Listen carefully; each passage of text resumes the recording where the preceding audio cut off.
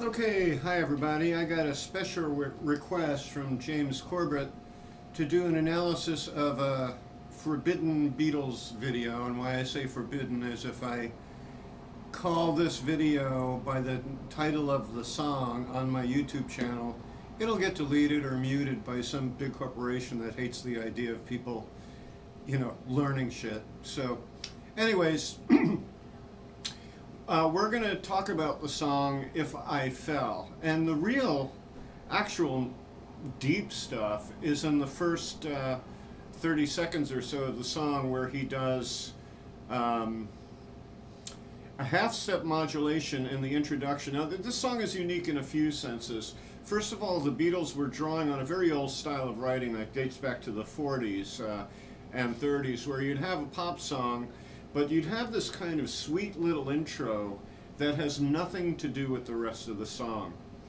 Uh, uh, another Beatles song that does that would be um, Honey Pie. She was a working girl, north of England way. Then she's at the big time in the USA, and if I could only see her now, this is what I'd say. Ba-da-ba. And then it goes into the song. Uh, if I Fell has a similar device, and in fact, you have to understand that the Beatles were very much influenced by uh, music from the 40s. I mean, they weren't so far from that generation. Um, uh, so here is what the song sounds like from the intro, and hopefully this will record well. If I fell in love with you, would you promise to be true and help me understand? Cause I've been in love before And now the song begins. This is really a very lovely song, and the recording you hear, what they will allow on YouTube is live uh, videos of the Beatles. Luckily, this was captured live, and if this is the um, the uh, live capture I'm thinking of, it's it's really, I've been in bands where you have to sing three-part harmony, and it is a bitch. It's really hard to do, to get those voices so coordinated that you're, uh, you know, you're you're hearing something that really does sound very melodious and beautiful. The Beatles did an awesome job of this. They were truly wonderful. But the song itself is not so spectacular or remarkable uh, if you take the introduction away. Now, the introduction incorporates a device called the half-step modulation. In many, many, many songs, uh, this half-step modulation creates almost melodrama. And sometimes if it's used wrongly, um, it, it can sound corny. Um, you know, I was doing a search on the internet for half-step modulation examples, and I finally found one, uh, which I'm going to clip to this uh, recording uh, later on as I edit it. Um, but just to dramatize the sound, uh, if I'm in the key of D, and I'm, let's say I have some random chord progression of the key of D,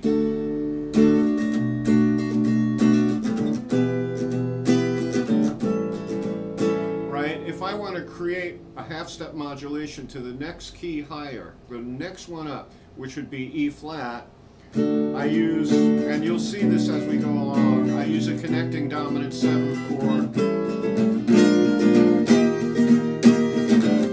And you can see how that's, uh, that's a little over the top. It's even worse when you don't use a connecting chord. For example, uh,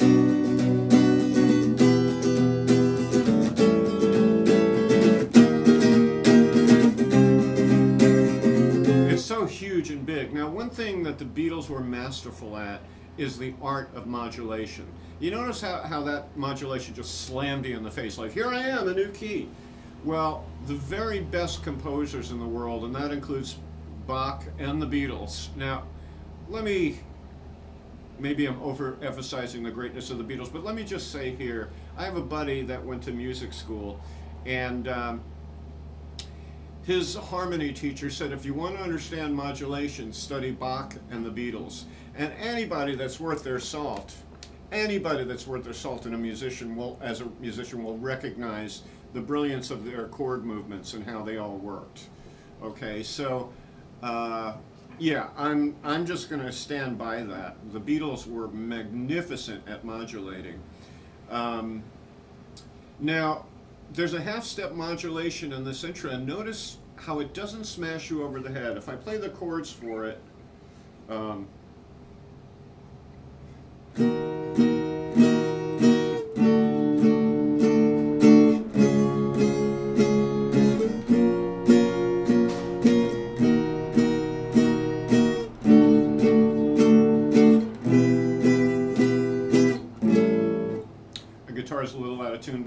idea. Um, it's it's not smashing you in the face. In fact, it's very lovely the way the chords are moving. So the question is, how is all this accomplished? But before I do that, I'm gonna I want to make this space right here available for a song from uh, the late '60s, early '70s that had one of these uh, big ass modulations and how cornified uh, the song becomes at that point when they use it. So take it away. Cause precious and few are the moments we two can share. Precious and few are the moments we two can share. All right, now let's come back to, to the world of music theory and see what's going on here. Uh, first of all, I want to show you this. What we have here are the keys of D flat and the key of D. So that's the half step. We're starting in uh, D flat and moving to D. Now here's the chord progression at the bottom. These rows are the chords that belong to each of these two separate keys. D flat, E flat minor, F minor, G flat, A flat, major or seventh, and that's an important one, and finally B flat minor. Here we have D, E minor, F sharp minor, G, A or possibly A7, and B minor. Now what the Beatles moved from was what's called the two chord of the key of D flat, right? And then that would be E flat minor. Then it moves to the D chord, all right? Now, what's that D doing there? Well, it is replacing what would normally be the A flat 7. This is a chord movement called the tritone substitution. And this, they say it only happens with dominant seventh chords, but it also can be done with major chords. I've seen the Beatles do this over and over again. Works exactly the way, the same way, without that extra little spice of the uh, what's called the tritone inside of the chord. So we could say there's a movement in music called 2 5 1. The second chord of the key, the fifth chord of the key, and the first chord of the key. What these two do is they lead you down the road to this chord, which would be home, okay? All right, so we're going from E flat, and instead of going to A flat, we're doing the tritone substitution of D. And that's perfectly legal and valid. And what D does is it resolves, just the way A flat 7 would resolve to D flat, D resolves to D flat in the same way. Okay? I don't know if you're seeing this or not. So we have the movement E minor, the tritone substitution for what would have been the 5 7 chord to take us home to D flat, but this D takes us to D flat in any case, all right? So we have the 2, the substitute for 5, and the 1. Then we have what's called the 6 chord of the key of D flat. That's all well and good. That's normal to the key. So really, you notice there's only one chord that's out of the key, right? That would be D. Now, what, what makes this move so brilliant is the second iteration. We think we're going to hear the same thing because we're going E flat to D, but now he treats D as the root chord of D major and does the 2-5 of D major, which is here's 2, E minor, and here's 5. And once again, the 2-5 or the 2-5-1 is um, commonly taught in jazz schools in a, as an appurtenance to move you to a key or to state a key. If, if the 2-5 never went to D, the key of D is still pretty much stated here. Okay, so that's really what's going on with the intro. It's absolutely brilliant. Uh, it's it's seamless, and this is very. I think this is off their first record, if I'm not mistaken. This is very very early when they were still quite young. Okay, so that's the that's really the meat and potatoes of the song. But since you asked for the entirety of the song, I'm going to um, talk about uh, the rest of the body of the song. The song continues in the key it established D, and it mostly uses chords from the key. If I gave my heart to you, I must be sure. So we have D, E minor, F sharp minor, A7. Let me play that. Gave, if I gave my heart to you, I must be sure from the. And there are other little subtle things. There's a sus4 in the A7. I won't go into that detail, it's, it's too much. But I will say this we're traveling up the chord family of D in sequence one to two to three. If I kept going, it would sound like the Do Re Mi scale.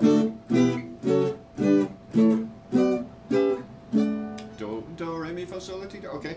So, um, and Bob Dylan, by the way, used the same apertness of just traveling up the chords in his song like a Rolling Stone. One, once upon a time, you dressed so fine, didn't have a dime in your prime. Didn't you? Do, fa, sol, right? So uh, this is uh, this has been used before.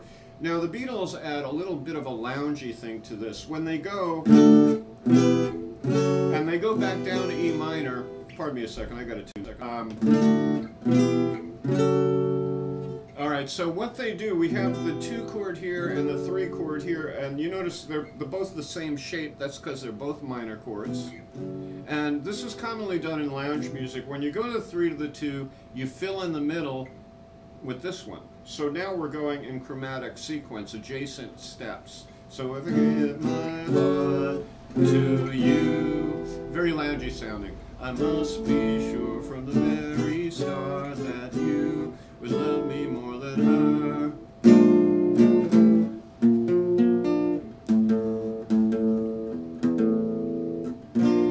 All right, so now what's this? This chord is out of the key.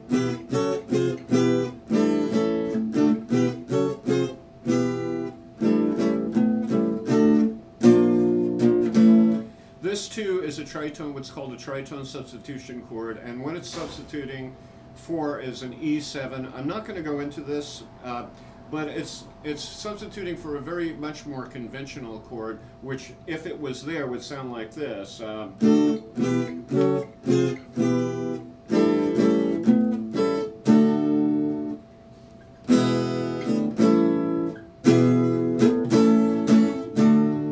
much more spicy the other chord is. Much more tension in that chord.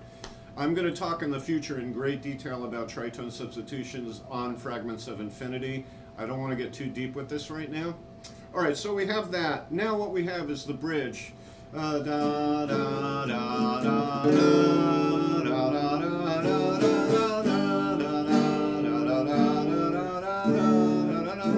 wow, this is a beautiful song. Um, all right, so what's going there now? Uh, we hear. Uh, let me see what the melody is.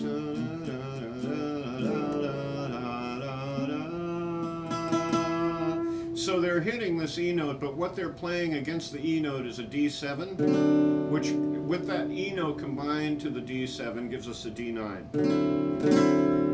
Now D7 and D9 are essentially the same chord. They function exactly the same way.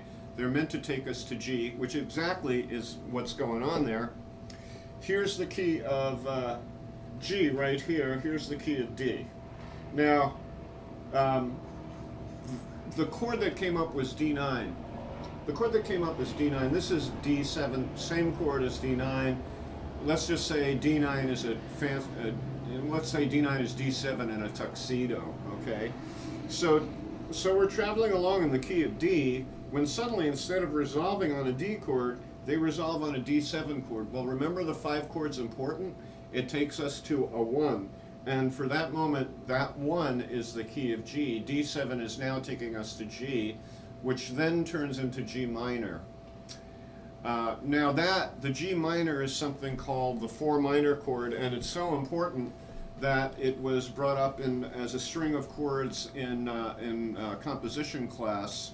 Uh, the 4 chord of the key of D one, two, three, four is G major, okay? G major to G minor to D is very, very common, okay? You see this kind of movement in songs like Lucy in the Sky with Diamonds. Um, but let's, let's look at this one. So if I play the D chord, then I turn it to that 5-7 chord that belonged to the key of G, and then it takes us nicely to G, and then here's our minor chord, G minor. Now why the G minor? This is creating something called a line. I have this note from D7, this note from G major, and this note from G minor, and then I go back to D. So I get this chromatic line,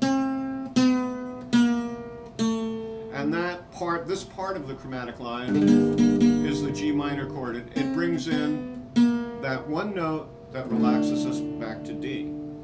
And that is pretty much uh, the entire song. Um, I just marvel, I marvel at that half step modulation as you've seen in the examples and heard.